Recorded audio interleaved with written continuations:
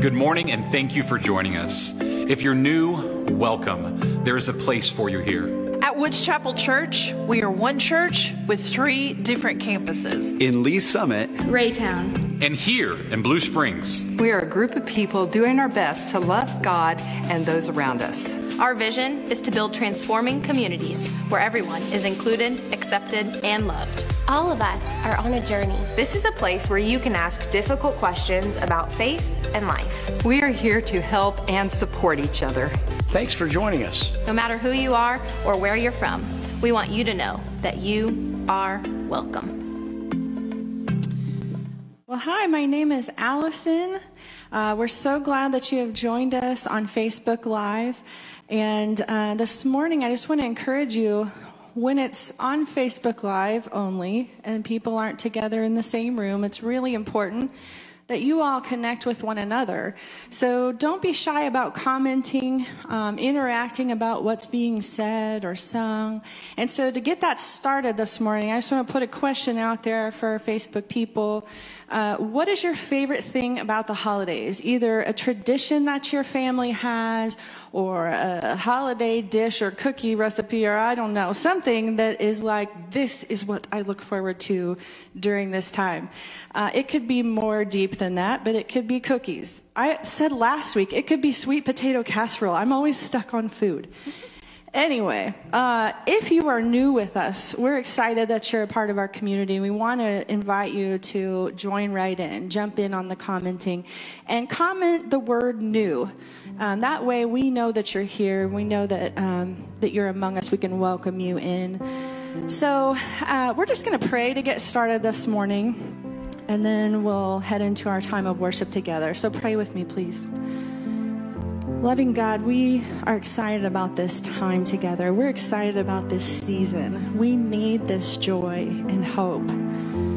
God, as we remember the anticipation, the hopeful excitement uh, for the coming Savior, God, we're in this place right now of needing hope, of looking forward to a time when things are different, when things are better. But God, we know that even if our circumstances don't change, you are still worthy of praise.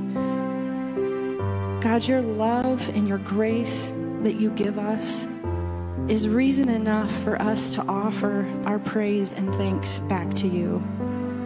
So, God, even though things aren't ideal right now, you still are the one that we look to for the hope, joy, peace, and love that we celebrate during this Advent season. So turn our eyes to you in this moment, over this next hour of worship.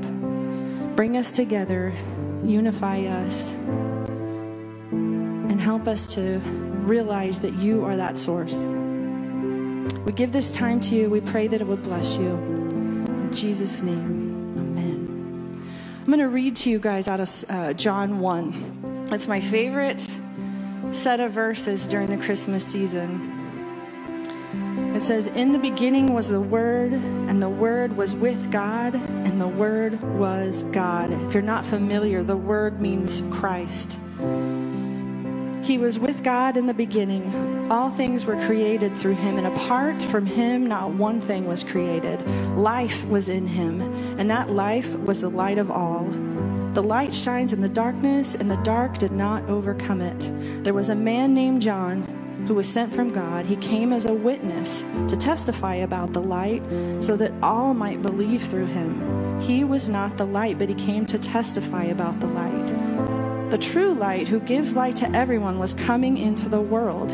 He was in the world, and the world was created through him, yet the world did not recognize him. He came to his own people, and they didn't receive him. But to all who did receive him, he gave them the right to be children of God.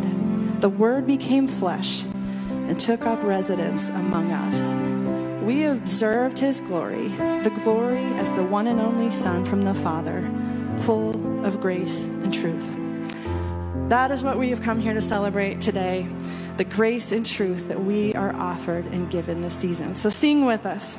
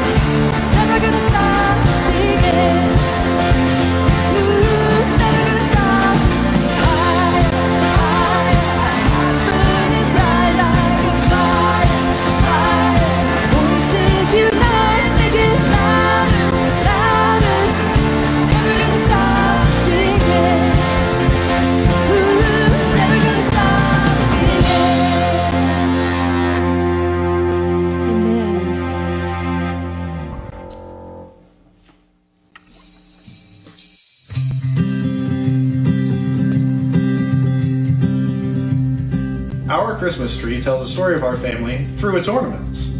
I picked this ornament out because it's um, a bunny and I like bunnies, and it's a baby's first Christmas, and it's it was made in 20, 2013. I picked this ornament because it has a picture of our first dog Flurry in it, and our grandmother made it. Um, I picked this ornament out because it has animals golfing in it. It is special to me because my family likes to go uh, golfing together. We like to go to the golfing, a golfing range and mini golfing together as a family. I like this ornament because it reminds me of our first Christmas together in 2005, and Chuck and I put it on the tree together. And my favorite is a crystal set passed down from my grandmother when she passed away. The first Christmas after she passed, my aunt was decorating the house with it, and the very first ornament she put up fell down and broke. And I've kept it that way ever since because I use it to remind myself of the story and how much I miss and I love my family back in Pennsylvania. The end. Good job, everybody.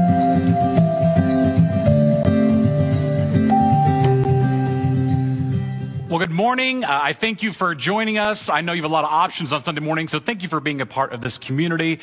Thank you for the Kleinhagen family for doing that amazing video. Uh, feel free to comment. It was a great video. I was talking with Chuck, and he said that it only took us 18 times to get that shot right. And so thank you guys for doing that. Wasn't that the perfect Christmas video?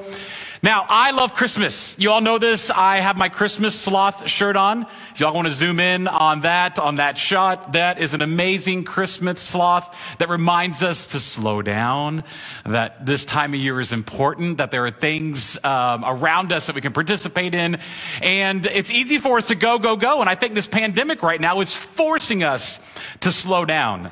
Now, because I love Christmas so much, we've been celebrating Christmas in my house for at least two weeks, maybe three. I'm not really sure when we put our decorations up. Um, some of you get mad at me because you say we should wait till after Thanksgiving, and that's just not true. It's not what Jesus would do. And so that is um, the place in my house. Now, you all know me. I've talked about this before. I love Christmas so much. We have like seven trees in our house. I'm not making that up. Seven Christmas trees. Now, we have three in the entryway uh, that used to represent our three kids. Now we have four kids, so I need to find another one. Um, but some, the kids have, uh, some of them have trees in their room. And when we have a real tree that we go and get the weekend after Thanksgiving, and we go to White Pine Farm out by Fort Osage High School, and we get this real tree. Now, that tree, um, my wife puts like beautiful white lights on it and, and ribbons, and it has all the ornaments that match. Y'all know what I'm talking about? Those kind of ornaments. Now, the reason she does that is because uh, it saves our marriage and it saves our family if I don't do it. And so, like, because I get mad, I'll cuss and I'll yell, and I don't, like, it's, I, I hate Christmas lights. They're the worst thing in the world. But that's her tree, and that she does it really well, and it's beautiful. And, and, and you walk into the room, and you're like, oh my gosh, Christmas. But the most important tree in our house is not those trees. The most important tree is actually, uh, I brought a picture. Now, I know a lot of you watching our podcast later on in the week, or you listen. So just imagine this tree. It's a pre-lit tree. It's sitting right next to my fireplace, right in front of the barnwood siding, like that's behind it next to my fireplace. And uh, it, it's LED lights. So it goes back and forth between either white lights or the multicolored lights. Now, I love the multicolored lights. Why? Because I don't know about y'all, but how many of you had the big old bulbs? Like the multicolored bulbs on your tree as a kid, right? And within each one of those bulbs was a little nuclear reaction because when you touched it, it was so flippin' hot it would burn you, right? Burn your tree down. Like we had melted pieces on our tree because those lights were so hot. But now they have little ones and I love them. And so I turn it on the color setting and has all the pretty colors. My wife hates it. She always turns it to white. So every morning I turn it to color. I do that because it's a foot thing. And then she turns it um, back to white. So we have this like feud, this dissension kitchen, in our house, um, and I win because I like to push the button more than she does. And so the reason, though, that it's my favorite Christmas tree isn't because it's pre-lit. It's not because it has the colored lights. The reason it's my favorite Christmas tree is because it has all of our homemade ornaments on it and um, ornaments for my and I, I, so i'm looking through it and there's i don't know there's probably a hundred on there. I'm looking through it i'm looking at each and every single one of them. And there's ornaments that go way back to like 2004 i think. Uh, we got married in 2004 so that makes sense. There may be a few ones from when angelica was a baby. Um, but i'm looking at all these ornaments. Now do y'all do this? Do you look at ornaments on your tree? So if you're watching from home type in what is your favorite ornament on your christmas tree uh, there's not a single one of those that is pre-made. They're all custom in some way or another, or at least they've been customized with our names on them. And I look at all these ornaments, and I'm especially drawn to the ones that my kids made while they were in school. Oh, remember Christmas parties at school? My kids, I used to be able to go to their Christmas parties and hang out with them, and we had Christmas concerts. Uh, Facebook reminds me every year. Um, we also have Amazon photos that bring us up all these memories. And I'm grieving right now, and I'm mad and I'm angry because I look back at those and I'm like, I just want it to be like that. I want to go to a Christmas party at an elementary school says a 40 year old grown man. That's weird, but, but that's just where I'm at in my life. I want I want that. I want all the things that in my head at least, right? As I look at the tree and I remember, and those stories come back to life in my mind. I want it to be like that again. Uh, anybody with me? You guys feel the same way? These stories, these ornaments that represent a story, each one has its own story, whether it was a vacation or whether it was a cell phone from 2008. It was a Blackberry. There's a Blackberry on my tree, least a picture of a Blackberry on my tree that my daughter made for Christmas one year. It's like, Merry Christmas 2008, right? Back when Blackberries were a thing. And so my kids are like, why are you talking about fruit? It was a cell phone. It's like the first smartphone for all of you that don't know. Uh, they're amazing. I had one for years. And I look at these ornaments and I grieve a little bit and I cry a little bit but I, I look at it and, and there's, there's something else going on and I can't quite figure out what it is.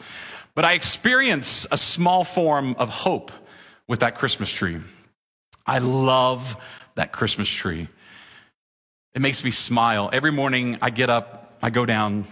The first thing I do, like I don't do anything else. There's no coffee, there's no drinks of water, there's no bathroom break. The first thing I do is go over and click that button, turn that tree on makes me smile. It makes my heart light up. It makes me joyful from the inside out. And I think about all the things that we used to do. So, what does your family Christmas tree look at? What are the stories in your family? What is it that makes your family what it is? And I hope that your Christmas tree tells that story. If it's not, I'm sure there's Christmas decorations that tell that story. I'm sure there's pictures in your house. I'm sure there's artifacts, there's things in your house that represent something that tell the story of your family, of where you guys come from, of who you are. And this Advent season, this is the first Sunday of Advent, Advent, if I can say that right. Um, we're kicking off Advent at church. And so, like a lot of you, how many of you, type this in if you do. Actually, I got a, a thing for y'all to do. This, over the next few weeks, every week we're going to light this Advent candle. So if you have an Advent candle, I want to invite you to light it with me. And so there's five candles, and one represents hope, one represents joy, one represents peace, and one represents love. And the middle candle is the light of Christ. And so there's a special order to this that you cannot deviate from. And I don't know that order. So I just light a candle every week. Uh, because the nature of, and so this week it's the candle of hope. There's a candle that represents hope in our life. We're going to talk about hope today. But the, the premise of an Advent wreath, where it comes from, uh, even the idea of Advent, Advent simply means a time of waiting, a time of anticipation.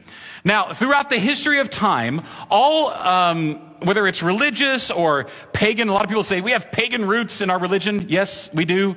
Uh, pagan just means like rural or from the earth, right? Uh, pagan, um, that, that's what those things mean. And so throughout the history of time, for tens of thousands of years, we have celebrated what is happening going on around us.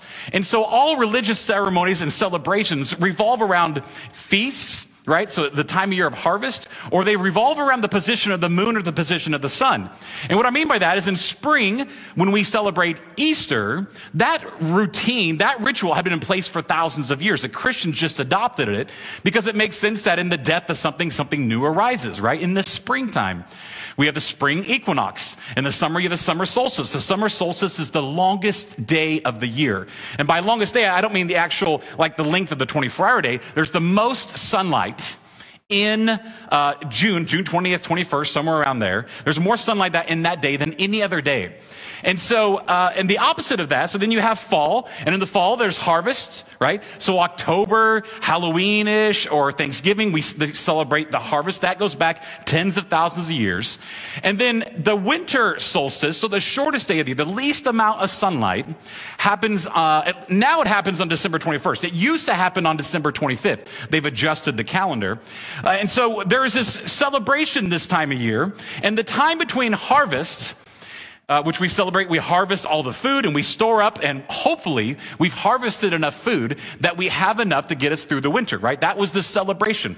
These themes, we still celebrate all these themes. We just tie them to religious aspects now, right? Christianity comes along and they tie what was already happening in the culture and in the community, they tie them into their faith uh, much like other religions. Okay, so, so you have Christianity that emerges. This, this, like, this is a story of Advent. This is where Advent comes from. And so you have Christianity emerge in the, the, the Middle East, right? It goes into Italy and to Rome, and then it grows, and it grows up north. And it crosses over into the Celtic region. And in the Celtic region, their, their, uh, their mythology, their belief system, uh, they had this idea of a tree. And the tree was like represents all things that are good.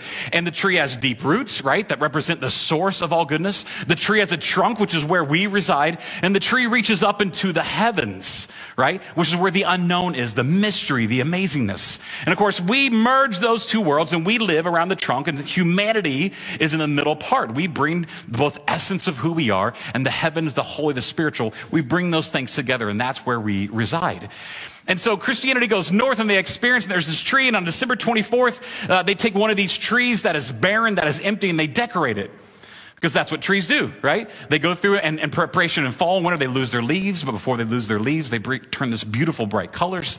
And they lose their leaves, and because of that, they're celebrating the fact that going forward, after the 25th, which is the winter solstice, sunlight is coming. Growth is getting ready to come. The sunlight is coming back. The warmth is coming back. And in our Christian faith, we light candles because the days get shorter and shorter and shorter. So we light more and more candles to represent that we need more and more light. In the Celtic tradition, which is where we get the idea of a Christmas tree, in the Celtic tradition, um, we have this, they have this idea that they embrace the darkness because there's more and more and more darkness. And they say that in the darkness, we can embrace that because it's in darkness that we reset, right? That we renew, that we recreate. I love that word, recreate. Like recreation, right, to go have fun, like a recreational vehicle, comes from the word recreate, that we recreate ourselves during this time. You know, that's how your body works. When it gets dark at night, your body produces this thing called melatonin, and it actually works based on the sunlight, and then you go to sleep, and then you wake back up, and everything is renewed. Everything is made fresh. Recreation has happened. You are made new. Your cells literally rebuild themselves at night. And so in the Celtic tradition, they take this time of darkness and they say, you know, this time of darkness this however long it is. Now we would say it's from um, the weekend after Thanksgiving, right, until Christmas. And so we celebrate this time and they reflect on the darkness and they say, you know what, these are the things where we can reset, where we can make something, space for something new.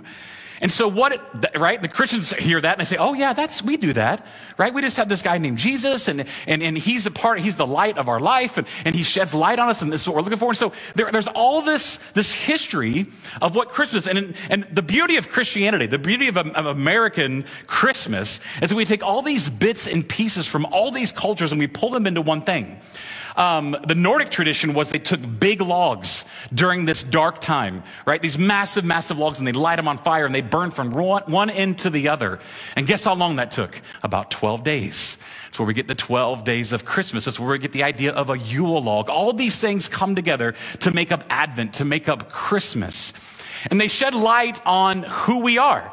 This is the heritage of it, and it's a beautiful thing, but it doesn't always look like what we think it should be right? Because there's darkness. And it's in that darkness that I believe we, we miss the idea of what Christmas and Advent should be.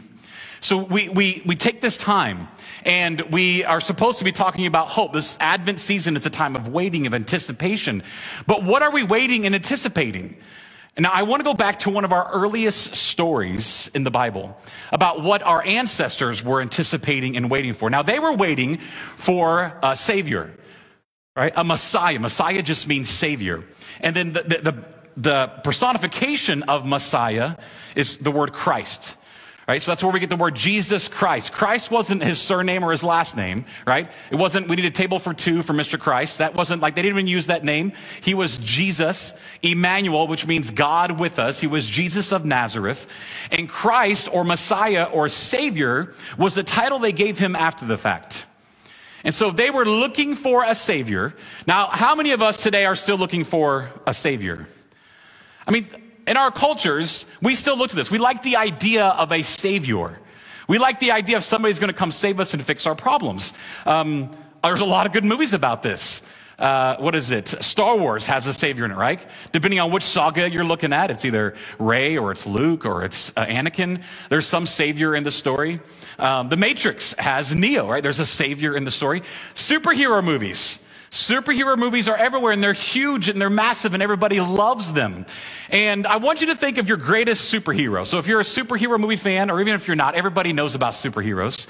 Right? If you're a DC person, you might say Superman. I'd be like, ah, he's not the greatest superhero. I mean, he's okay, but he has superpowers right? So what, you know, and you could argue what makes him great isn't his superpowers, but the fact that he's a nice, kind person. Or you might say, uh, the other one might be Batman, right? Now, Batman, I might I might be on board with because Batman doesn't have superpowers, right? He's just an average guy. Now he has lots of money. He has fancy magic suits and magic cars and magic jets, right? Let's go to the Marvel world. Um, uh, Iron Man, right? Iron Man, maybe the greatest superhero of all time. He didn't have powers, right? He was just, uh, he wasn't an average man. He was a rich man, but he still had a super suit. Now, I would challenge the greatest superhero of all time is Black Widow. Now, there's a spoiler alert. I'm just going to warn you right now. Black Widow is the greatest superhero of all time because guess what? She had no superpower.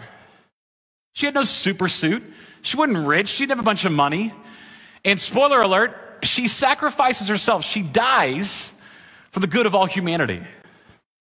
Now, that's a superhero that should speak to us.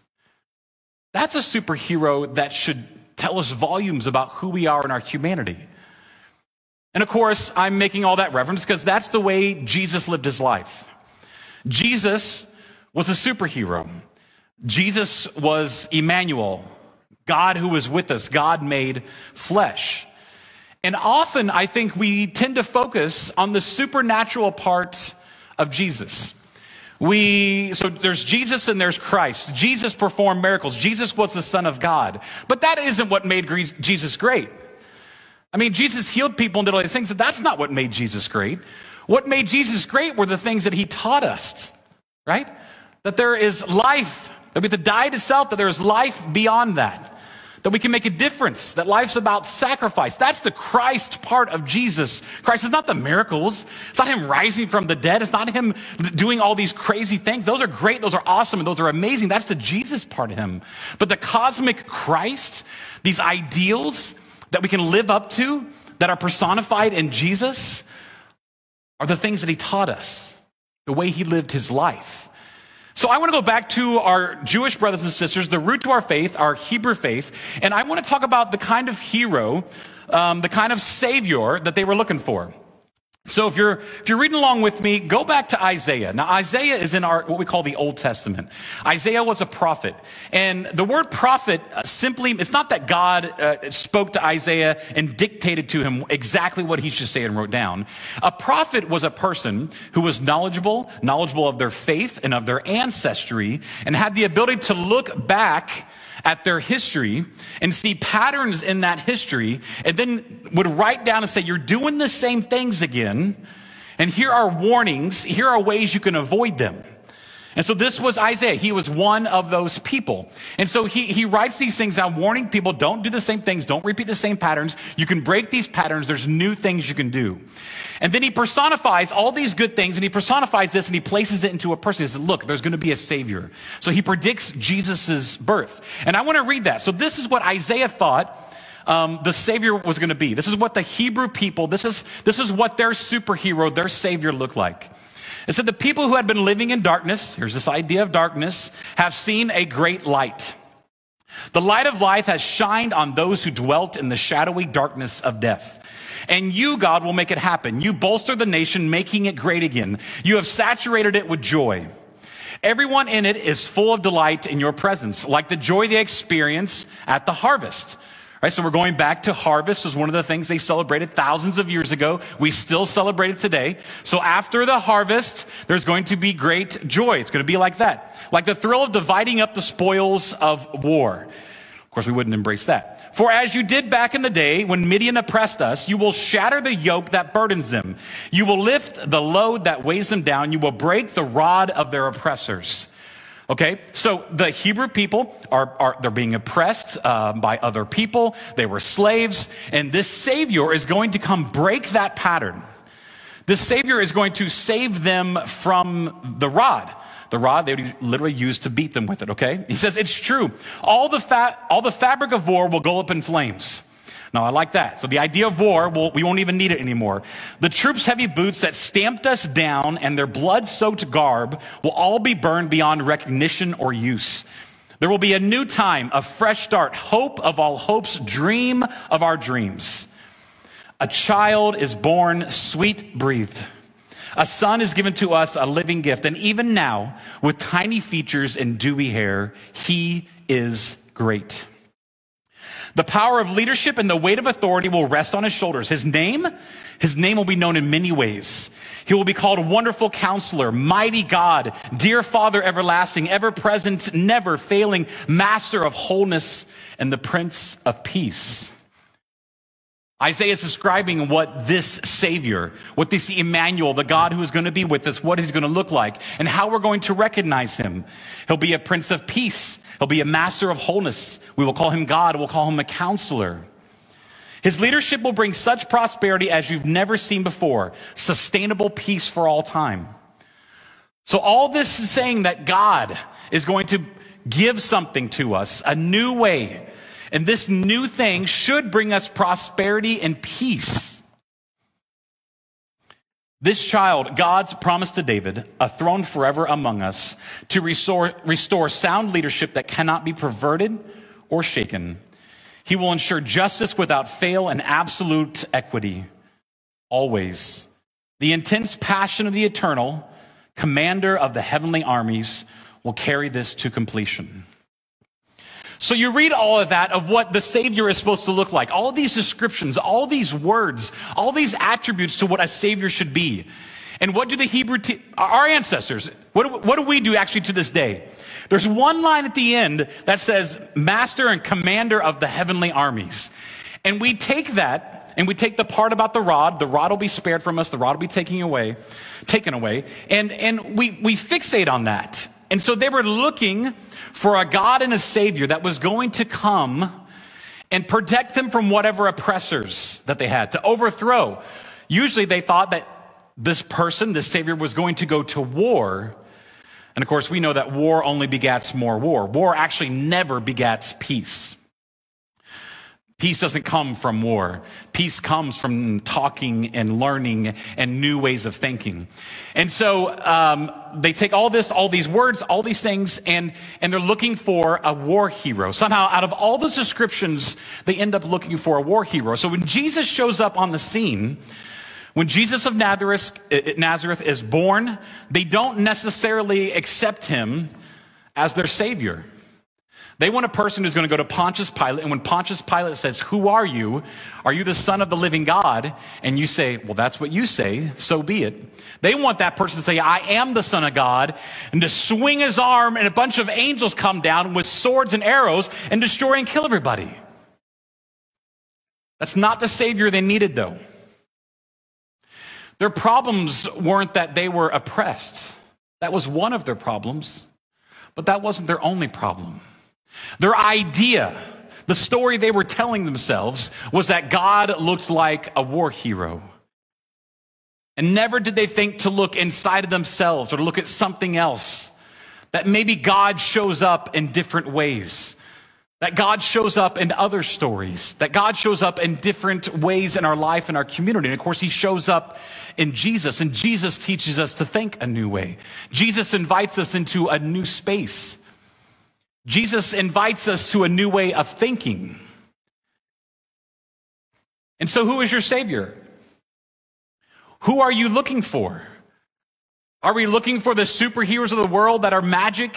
They're going to come down and fix our problems? Are we looking for the perfect Christmas with the perfect ornament with the perfect tree? You know, last night I was watching a movie. A friend of mine texted me, and there's this new Christmas movie on Hulu. And she's like, You got to watch this. And I'm like, Okay, fine, I'll watch it. And so I watched this movie. And at the end of it, I'm bawling, I'm crying. And the premise of the movie was uh, there was this, this family, and he had three daughters. And I don't know why I related to it, but he had three daughters, and they were grown and, and uh, out of the house, and they're all getting back together for Christmas, like Christmas movies do. And as they uh, get back together for Christmas, uh, the, the dad is the city councilman and he's running for mayor. And uh, the mom has all these parties and she wants to have the perfect Christmas, right? We want the perfect Christmas tree with the perfect ornaments, with all the perfect things. We want our perfect Christmas concerts. We want our perfect Christmas party. We want all these things to be perfect. And of course, guess what happens? Like all Christmas movies, it all goes to hell, right? It all just goes to, I mean, one daughter's on the verge of divorce, another one's gay and she comes out of the closet, the third one doesn't feel accepted, and it just, it just blows up in the middle of this party. And I'm sitting there um, weeping because we've all been in that place where we feel like our world is falling apart. And right now, we're probably not even going to have Christmas Eve services. Do you know how much that breaks my heart? That terrifies me. I can't go to Christmas plays with my kids. I can't see them singing concerts. I can't be here and light candles with all of you this Christmas Eve. That breaks my heart. I don't even remember Easter this year because we were shut down and I don't remember any of it. And now we're probably not going to have Christmas Eve. Are you kidding me? That is chaotic. That makes me upset. That, that disturbs me to my core. But I have to remember you see, that family in that movie found that despite all those things that they thought were going to be horrible, there's, there's a beauty in Christmas. There is a hope in Christmas. And the hope in Christmas isn't in the perfect tree. The hope in Christmas isn't in the Christmas parties. It's not in the concerts. It's not sitting in a service and lighting a candle. Those things are amazing and they're great. But you take them all away, and what do we have? We still have each other. The hope of Christmas is that we can live it right here, right now. The things that Jesus brought us and the things that he taught us, he didn't teach us to wait on a savior that's going to take care of our problems. Jesus invites us into a new way of life and that we can make a difference right now, whether we're in person and together or whether we're at our home. Some of you who are watching this right now found a gift on your porch. Somebody from the church delivered something for your children this morning. We can make a difference right now. We can live in this moment. And it's not going to look picture perfect. It's not going to look amazing. It's going to look chaotic. It's going to look ugly. It's going to be a mess. But it doesn't matter. The hope of Christmas is that we can live right here, right now. The message of Jesus, the ideals of Christ, and who and what that is means that we can make a difference today. We can choose happiness and joy and love and hope. We're actually not waiting. I know Advent means to wait, but we're like the Celts, right? We realize that in this dark time that we find ourselves in, that we can reflect, that we can renew, that we can recreate who we are. And who we are is people of love and joy and peace. And that, when we live those things out in our life, that is what brings us hope. And I believe it is our job, it is my job to give you that message every week, and it is our job as a community to give you the tools to do that. So, all of you that are watching right now, if you're watching on your phone, I'm sorry, I don't know what to tell you, but I'm going to ask you to get your phones out. And you're going to text this number behind me. You're going to text Advent, A D V E N T, to the number 816 608 608 6270. And you're going to text that number. What that's going to do is that is going to give you this. This is called an advent calendar. And on this advent calendar, we're not looking to the future for some um, utopian hope of going back to the things, we, things the way they were. We're saying today, this month, in the next 25 days, you have an opportunity to impact those around you. It's in impacting those around you that you can live in the moment, that you can provide hope, that you can be the light while we still experience the renewal of darkness. And so text that number um, you're gonna, this will come to your phone, and every day it's gonna invite you to do stuff, okay? And I wanna hear your stories. I want you to email me. I want you to write your stories. Stuff like purchase gift for children in foster care, donate a winter coat, make a toiletry kit to donate. There are 25 things on this list of how we can provide hope to our communities right now, today, in the next 25 days through Advent, through this Christmas season. As you text that, as you do this, as you like and share this post, uh, this feed, let's go to God and in prayer. God, we thank you uh, for Advent. And, and God, even though we use this term Advent, that we are waiting for something, God, help us to remember that the way of life that you came and showed us, the commandment that you gave to us uh, to go out, to love all those, God, to lay our life down for our friends. That is the greatest calling that we can have, that we can do that whether we are together in person or whether we are separate in our own worlds. God, we can be present in this moment. God, we don't have to look back and hope that things will return to the way they were. We can experience your hope, your love, your joy, and your peace right now. And God, that is the hope that you bring us. That do, during these next 25 days, that as our days become shorter, as darkness grows, God, help us to embrace that darkness. Help us to embrace, to renew, to recreate who we are, who our communities are, and what a real Christmas means. And God, we know that means that it's broken and it might be ugly. God, it might be a mess and it's not going to look the way it used to. God, help us to grieve through those things. But help us to embrace the new. Help us to embrace the now. And help us to have that hope. God, we love you and we pray these things in your name. Amen.